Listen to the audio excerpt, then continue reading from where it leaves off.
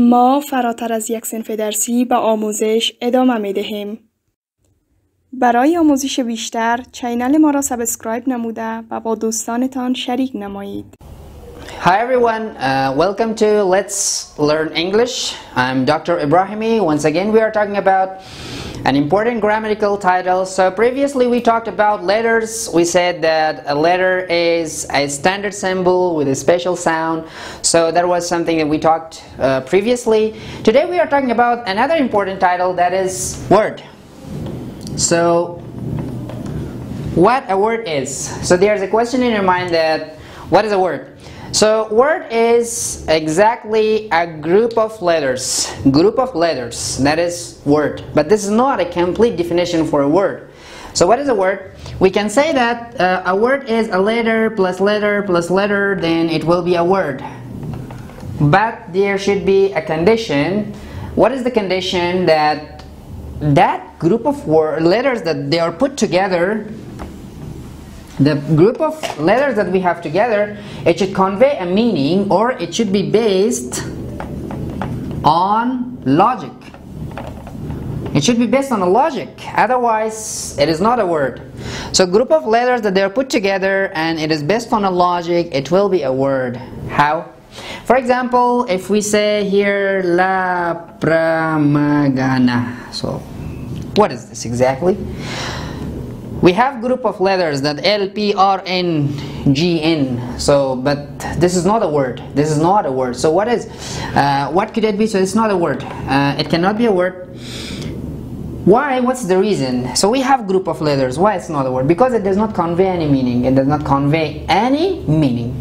So, uh, if I say the word book in here, it conveys a meaning. It conveys a meaning because uh, this is a group of letters put together and it has a meaning and it is a word so we understood what a word is uh, خب uh, عزیزان در ویدیو قبلی ما در رابطه با حرف صحبت کردیم گفتیم حرف عبارت است از یک سمبل استاندارد با یک صدای مخصوص با یک خاص. اون حرف گفتیم و امروز در رابطه با کلمه صحبت می‌کنیم یا واژه صحبت می‌کنیم که کلمه چی است. خب کلمه گفتیم عبارت از گروپی از حروف هست که کنار هم قرار می‌گیره. ولی شرطش اینمی است که باید بیس آن لاجیک باشه یا بر اساس یک منطق سوار باشه و یک معنا را افاده بکنه. در اون صورت ما برش گفته می‌تونیم یک ورد یا یک کلمه. خب به طور مثال ما در اینجا گروپی از حروف داریم. ولی یک کلمه نیست. مثلا L, P, R, N, G, N سو معنای نمیده و او خاطر ما را کلمه گفته نمی‌تونیم. ولی کلمه بوک یک گروپی از حروف هست ولی معنا میده. به اون صورت ما برش میگیم یک واژه یک کلمه. okay Our today's discussion is about those important words that they form the language. Those important words that they form a language and it has a name and that name so I'm going to write you what that is. So we are talking about POS.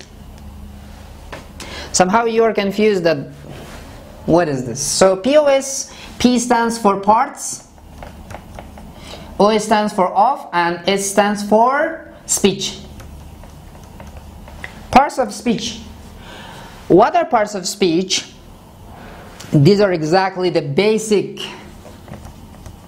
words of a language.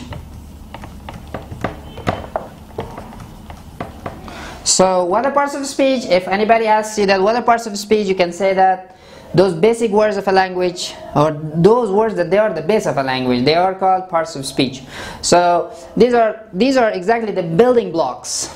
The building blocks of a language that is called parts of speech. As you know, for example, when we see a building or a house, a room, so uh, when we are uh, looking to the wall, we put bricks or blocks together to build a house. Same is the case when we are talking about a language, so it also needs building blocks. So what are those building blocks? They are parts of speech. So parts of speech are the functional words of the language. Now we are talking about the number of parts of speech the number of parts of speech uh, it varies in many different books so we have eight parts of speech we have eight parts of speech the first one is a noun uh, a pronoun, an adjective, an adverb.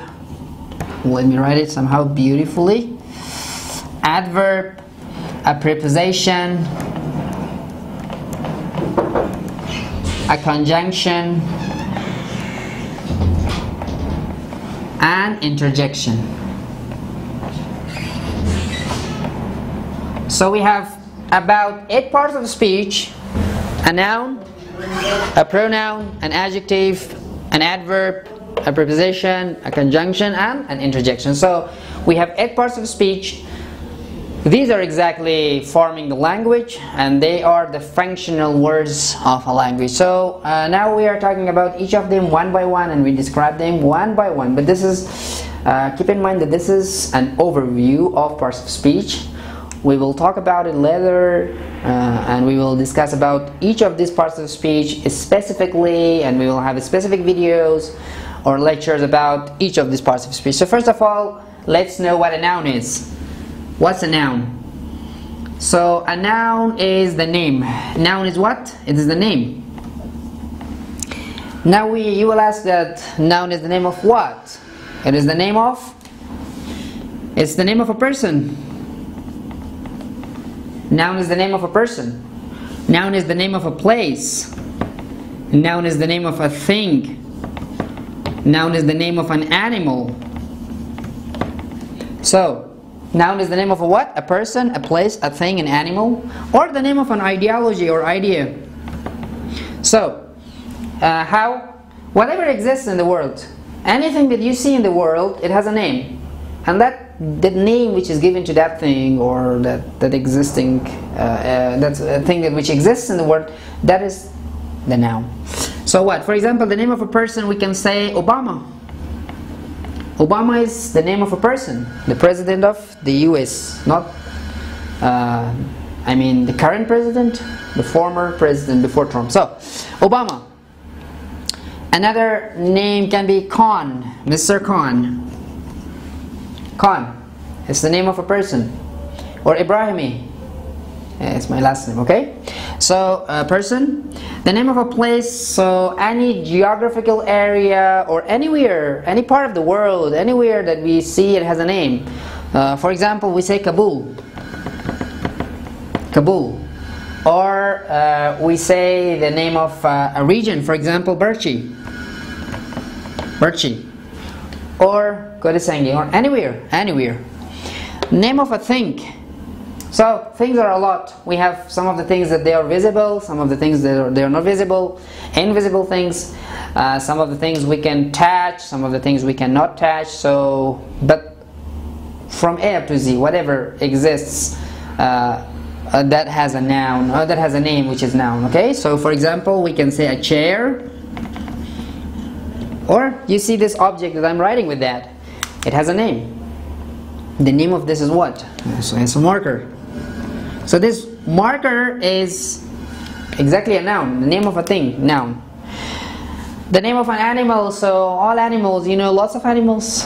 So for example, an elephant, a dog, a cat, a bird, many different things. So like a cat like uh, for example okay a hen. A hen okay? Name of ideas exactly name of ideologies or those for example uh, so ideology name of ideologies. For example like capitalism capitalism. What is capitalism? It is the name of an idea. So it's an economic uh, terminology capitalism. Or racism, racism or nationalism, or many others, many others. So it is the name of what? An idea. So it was an overview of uh, the noun. So we said uh, the noun is the name of a person, place, thing or animals or idea. خب دوستان عزیز در رابطه با اجزای کلام صحبت میکردیم که گفتیم اجزای کلام عبارت از کلماتی هست که در واقع یک زبان میسازه قبلا نوشته کرده بودیم که the basic words of a language یعنی کلمات اساسی یک زبان. مثل از که یک خانه نیاز به بلوک یا بلاک یا خشت یا هر چیزی که یک دیوار اعمار بکنیم عین شکل وقتی ما یک زبان را بخوایم که اجزایش را بحث کنیم اجزای سازنده و فانکشنال و اساسی یک زبان به نام پارس اف اسپیچ یا اجزای کلام یاد می‌کنیم که اجزای کلام در کتاب متفاوت اعداد متفاوتی گفته شده. ما مو تایش می‌گیریم. ناون پروناون خب ناون اسم. پروناون زمیر ادجکتیو صفت. ادورب قید. Preposition حروف اضافه. کنجنکشن حروف ربط. و انترجکشن هم حروف ندایی. و یک پارس اف دیگه ای که در کتاب ذکر شده آرتیکل هست که او را در بعض کتاب نگرفته به خاطر ما او را ذکر نکردیم. خب I wish you all the best. Uh, thanks for watching. Uh, try to subscribe the channel and share it with your friends and try to activate the bell. have a great time. Thanks.